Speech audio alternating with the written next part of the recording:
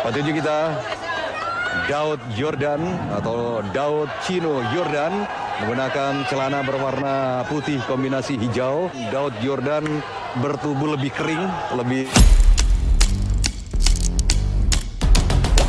Ya, mitra olahraga di mana pun saat ini Anda berada, khususnya pecinta tinju di seluruh tanah air.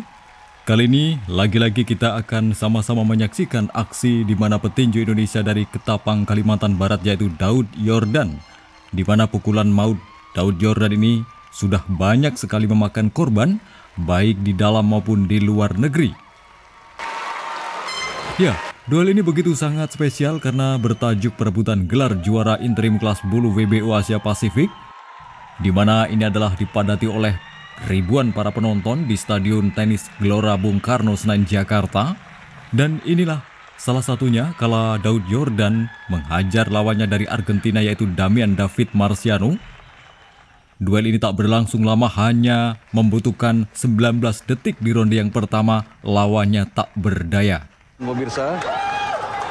Petinju kita Daud Jordan atau Daud Chino Jordan menggunakan celana berwarna putih kombinasi hijau. Daud Jordan bertubuh lebih kering, lebih uh, gempal. Memang tak butuh waktu lama, aksi balas pukul selama 19 detik ini, uppercut kiri Daud Jordan keras mengenai bagian ulu hati dari Damian David Marciano.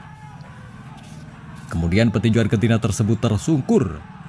Belum selesai wasit menghitungnya, handuk putih dilemparkan oleh pelatih Marciano. Tandanya tak mampu lagi untuk dilanjutkan. Wasit pun akhirnya menyilangkan kedua tangan, tanda duel disudahi dan dimenangkan oleh Daud Yordan. Duel ini berlangsung pada tahun 2010 yang silam. Ada satu pukulan telak dari Daud Chino Jordan menganfaskan Damian Marciano.